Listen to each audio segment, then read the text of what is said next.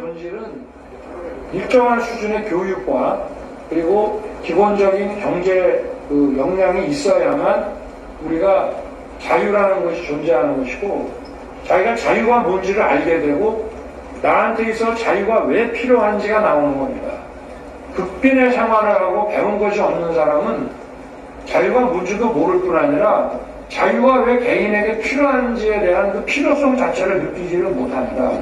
그래서 저는 공동체에서 어려운 사람들을 함께 돕고 그 사회에서 산출된 그 생산물이 시장을 통해서 분배되지만 상당한 정도의 또 세금을 걷어서 어려운 사람들과 함께 나눠서 그분들에 대한 교육과 그 경제의 기초를 만들어 주는 것이 자유의 필수적인 그 조건이라고 생각하고요.